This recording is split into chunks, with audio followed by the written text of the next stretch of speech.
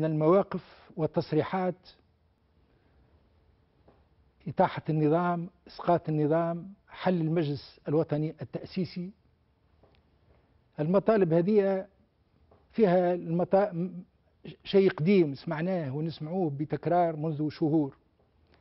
لكن اللي ربما يخلينا اليوم نشعر بقلق أشد هو أن عدد من المسؤولين اللي معروفين على الساحة السياسية باتزانهم بوسطيتهم بحبهم لتونس واستقرار تونس بسعيهم لإنجاح المرحلة الانتقالية اللي يعرف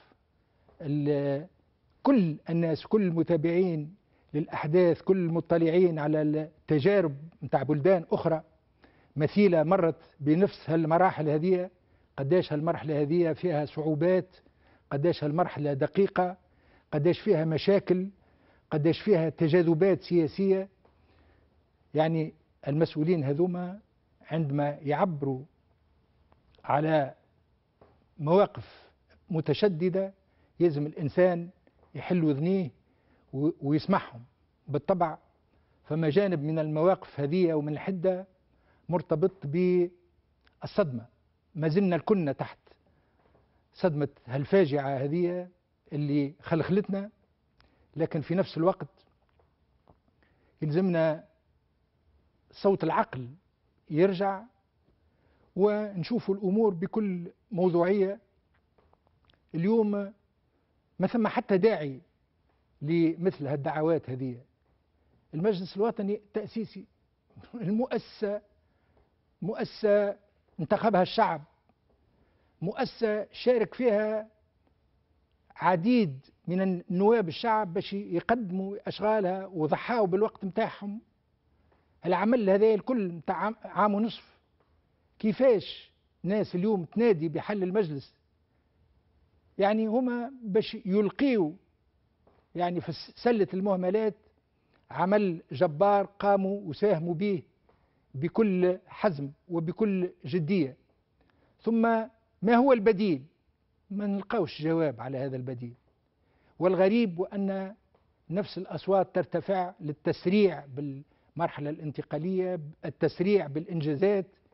إحنا اليوم وهذا مؤكد ويعرف الخاص والعام واللي تابع فينا على المباشر في جلساتنا العامة وفي أعمال لجاننا يعرف وأن يعني حقيقة قربنا من الهدف. الدستور تم النقاش العام فيه. بقى بعض قضايا خلافية قاعدين نتجاوزوا فيها والجلسات الأولى متاع لجنة التوافقات يعني قدمت بخطى ثابتة وتبعث حقيقة على التفاؤل.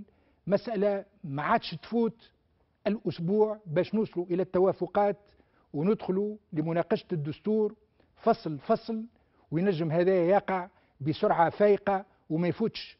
شهر أوت باش نصادق على الدستور إن شاء الله بأغلبية واسعة. أنا عندما قاعد نخمم كيفاش نهار الاثنين وفي الجلسات العامة القادمة البقعة متاع الله يرحمه محمد البراهمي تبدأ فارغة ما نجمش نقبل وأنا رئيس كل النواب نقبل باش عشرات من النواب يخليوا المقاعد متاعهم فارقة فارعة. فارغة هذا شيء صعيب عليا باش نقبله ومن من هذه الدقيقة أطلق نداء لكل هؤلاء الذين لوحوا لوحوا ب ربما عدم المشاركة في أشغال المجلس في تجميد عضويتهم أدعوهم إلى الرجوع لأن الشعب كلفهم بمهمة. ما زالوا ما كملوهاش وسهل ياسر باش يكملوها في الوقت القريب القادم في الأيام القادمة وفي أقصى تقدير في الأشهر القادمة. الدستور نجم نصادقوا عليه في شهر أوت. القانون الانتخابي نجم نصادقوا عليه في شهر سبتمبر. النجم في 23 أكتوبر نكونوا كملنا كل أشغالنا وكملنا المهام متاعنا اللي كلفنا بها الشعب ونكونوا عند حسن آه، عند الثقة متاعه وعند الثقة والوفاء للشهداء الأبرار اللي ماتوا من أجل أن تعيش تونس الحرية اللي اليوم تعيشها.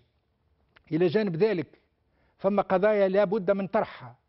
هي مثلا مسألة العدالة الانتقالية. يعني أنا دائما نفكر في المصالحة الوطنية وتحدثت عليها يعني منذ أمد طويل. أعتبر وأن اليوم البلاد وفي أكثر من أي وقت مضى هي في حاجة إلى مصالحة وطنية.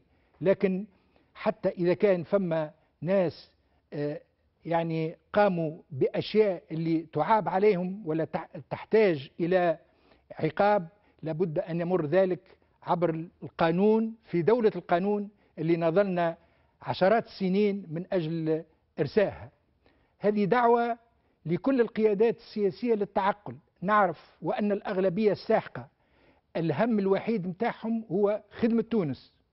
وأنا متأكد وأن النداء هذايا باش يلقى صدى لأن ما ثماش علاش اليوم نلقيو المنديل ون ونقعدوا نستناو في حل اللي هو بيدو ماهوش واضح. يعني هو فتح باب للمجهول. هذا نتصور وأن القيادات الوطنية اللي تحب تونس عمرها ولا تقبل باش تلقي بتونس العزيزة في المجهول.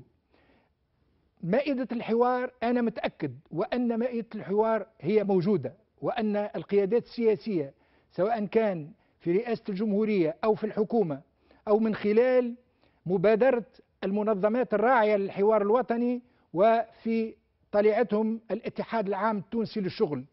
كل هذه المؤسسات والمنظمات تغير على تونس وأنا اليوم أدعو أن يفتح باب الحوار وأن لا يتخلف أحد عن هذا الحوار. ما تخليوش كراسيكم فارغة. كل شيء ممكن. كل شيء ممكن. سمعنا المقترحات أما يلزمنا نفكروا في المقترحات اللي هي تمشي من تحوير وزاري إلى حكومة وحدة وطنية. كل هذه القضايا ممكن أن تطرح في جو من التسامح من الاستماع للغير الاحترام الرأي المخالف لكن التفكير أولا وآخرا في ربح الوقت. يعني كل حل يلزم نشوفه فين باش يهزنا وفين باش يوصلنا وفي أي وقت يوصلنا. الشعب التونسي فد وعياء من الانتظار. اليوم عندنا 100 متر والأخيرة باش نختيوها نسرعوا فيها.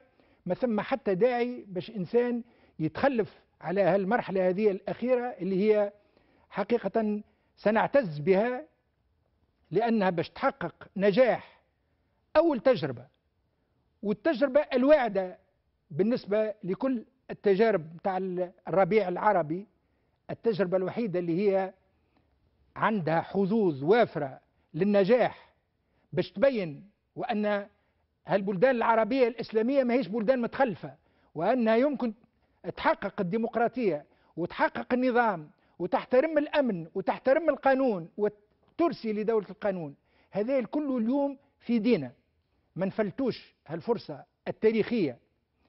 مرة أخرى أنا أنادي كل الأطراف سواء كان على مستوى السلطة التنفيذية وأنا مقتنع بذلك. الاستعدادات وافرة لكن كذلك منظمات المجتمع المدني ونعرف الدور اللي نجم يقوم به الاتحاد العام التونسي للشغل اللي قدم تضحيات منذ نشأته ومنذ تأسيسه في سبيل تونس واليوم هو مدعو باش يهز وذن القفة مع كل الإيرادات التونسية الوطنية اللي تحب تونس وتعزها.